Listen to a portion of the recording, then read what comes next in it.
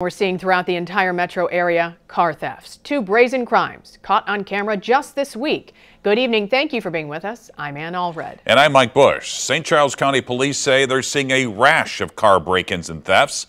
Our Pepper Baker spoke with the chief about how they're working to catch the criminals. St. Charles County Police shared a video from a neighbor's home camera that caught at least three people attempting to steal cars from a Dardenne Prairie neighborhood. It's really an ongoing uh, issue we've had for the last year and a half that the entire region has seen. Chief Kurt Frisz says every now and then they see a spike of auto thefts happen two or three nights in a row. They go into a, a neighborhood and start flipping door handles, uh, trying to start a car.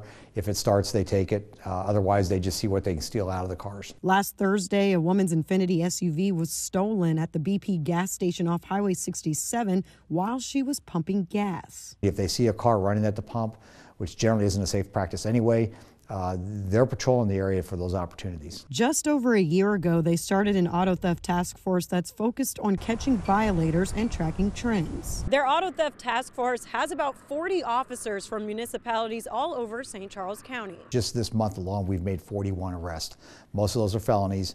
Uh, several stealing from motor vehicles and stealing motor vehicles, a lot of uh, several firearms uh, seized, and a lot of drugs seized. Frisz urges people to lock their cars and keep outdoor house lights on to help with video footage. The other thing that's of value to us is people submitting their, their camera footage from their home surveillance system.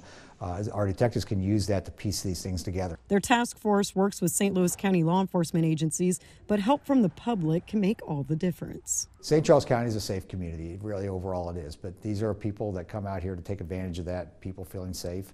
Uh, so it's really just a, uh, trying to educate our community so we can help help us help them by locking their stuff up and uh, taking the stuff out of the vehicles. In St. Charles County, Pepper Baker, five on your side.